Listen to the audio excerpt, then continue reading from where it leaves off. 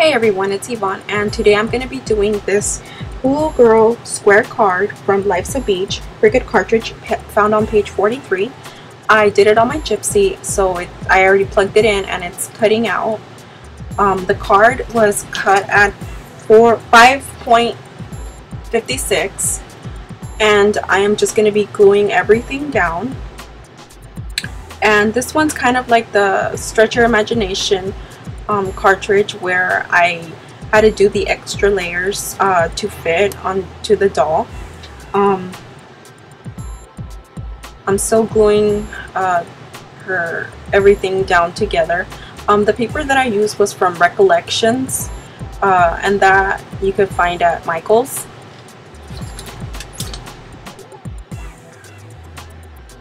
The layers that uh, that I'm gluing down right now they were cut at 4.30 just so they can fit on here.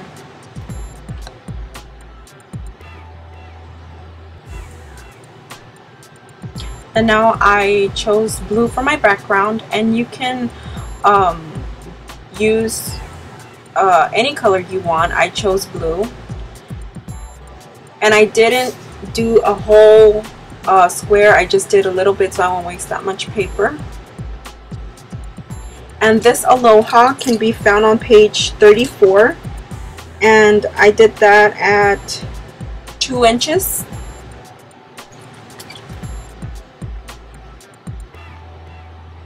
And I'm adding some stickles and they're gold stick gold the color gold stickers stickles because the part that goes in there was too small and it didn't really cut it out so that's why I decided to add some stickles. It looks a little blurry. I'm sorry that I, I don't know what happened. It went out of focus. And now I'm adding uh, red stickles in the little flower. The plumeria. And this is Limeade um, Iridescent from Martha Stewart and some Martha Stewart glue and I'm just gonna put some of that on her skirt.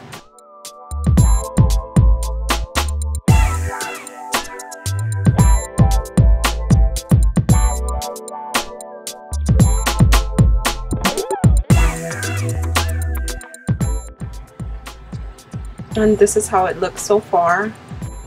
Okay now I have this color. Um, it's like a light green and that's gonna be the card base. And I'm just gonna adhere that together.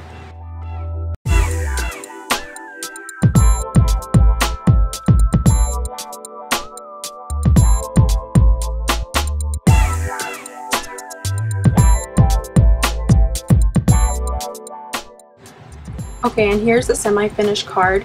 Um, at the end, you're going to see that I added some black Gelly Roll in the eyes, the nose, and the mouth. And I also stitched around the aloha um, and that's my card for today. Thanks for watching. Bye.